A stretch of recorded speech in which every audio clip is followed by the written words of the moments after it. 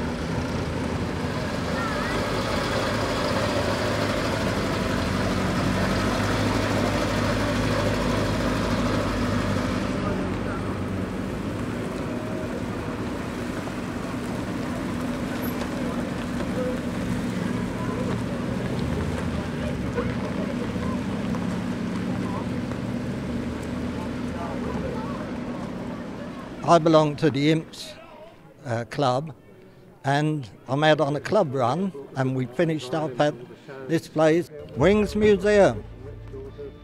We go out on these little trips, and um, this, I think, this is the best place we've finished up at. It's changed since I saw it 14 years ago. More stuff. Oh, crikey, there's stuff here that. Uh, I haven't seen, you know. And uh, one day I'd like to put my patent collection up here in, in the corner